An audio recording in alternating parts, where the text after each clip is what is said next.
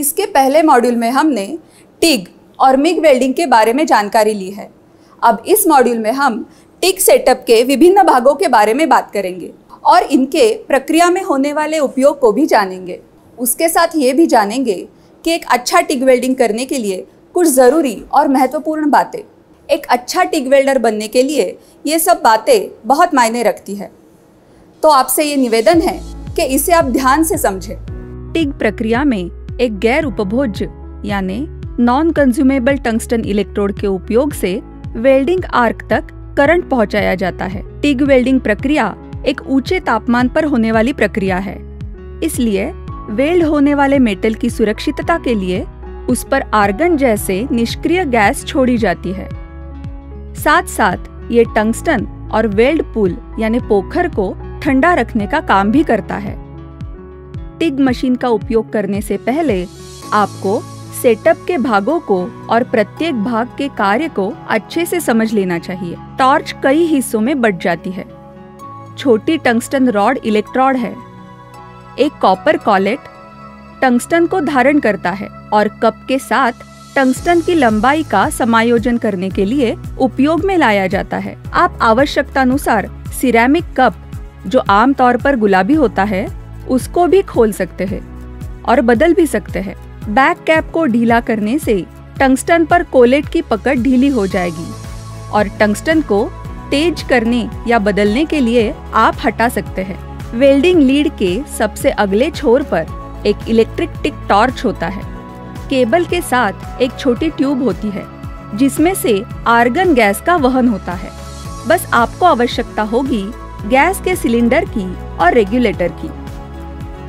TIG मशीनें एक पैर से या हाथ से संचालित कर पाने वाले वेरिएबल एम्परेज नियंत्रण का उपयोग करती है। हाथ के द्वारा नियंत्रण करते हुए, आप धीरे धीरे वेरिएबल एम्परेज बटन की मदद से वेल्डिंग जोन में गर्मी यानी हीट देना शुरू करते हैं और वेल्ड पूरा हो जाने के बाद आप धीरे धीरे गर्मी को कम भी कर सकते हैं। बेस मेटल पिघलने के बाद जोड़ तैयार करने के लिए समान गुण होने वाला जो मटेरियल उसमें मिलाया जाता है, उसे फिलर मटेरियल कहते हैं। बेस मेटल से बेहतर मिलान करने वाले फिलर मटेरियल का चयन करने के लिए फिलर मटेरियल मार्गदर्शिका का उपयोग करें। आपके पास जिस ब्रांड का फिलर मटेरियल हो, उसी उत्पादक का तख्ता आपको इस्तेमाल करना चाहिए। अब टिग मशीन और टिग प्रक्रिया को आवश्यक सभी घटकों को समझने के बाद अब हम वेल्डिंग के लिए ज़रूरी सेटिंग के बारे में जानकारी लेंगे। मशीन को बेस मेटल के आधार पर सही पोलैरिटी पर सेट करें। वेल्डिंग रॉड का चयन करें।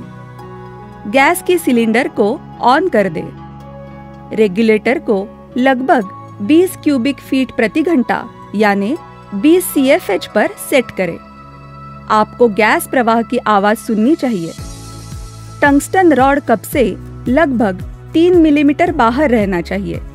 जांचे कि टंगस्टन रॉड का टिप सही तरीके से तेज किया हुआ है। टॉर्च को अपने शरीर से दूर, ऊपर की ओर पकड़े। वेल्डिंग शुरू करने के लिए आपके पास एक धातु की टेबल होनी चाहिए। स्टूल पर आराम से बैठ जाए। वेल्डिंग शुरू करने से पहले आपने वेल्डिंग के लिए उचित सुरक्षा उपकरण पहनना ज़रूरी है। टंगस्टन को बेस मेटल से कभी नहीं छूना चाहिए।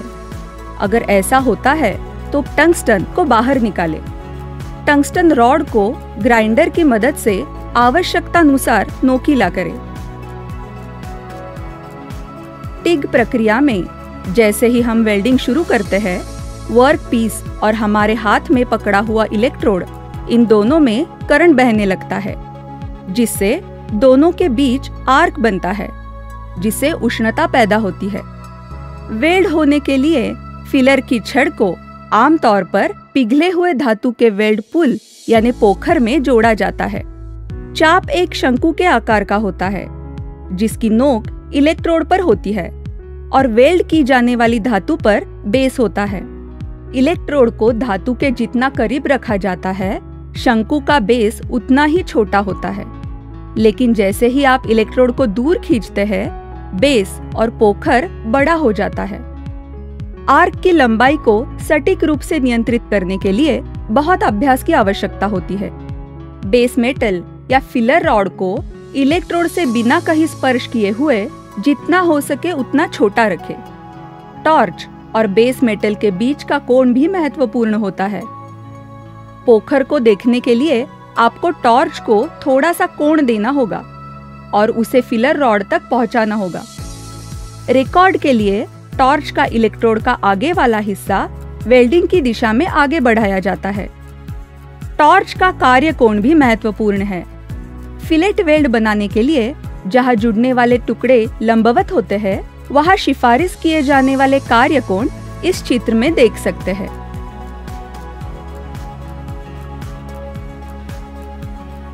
वेल्डिंग शुरू करने से पहले इन बातों का ख्याल करें।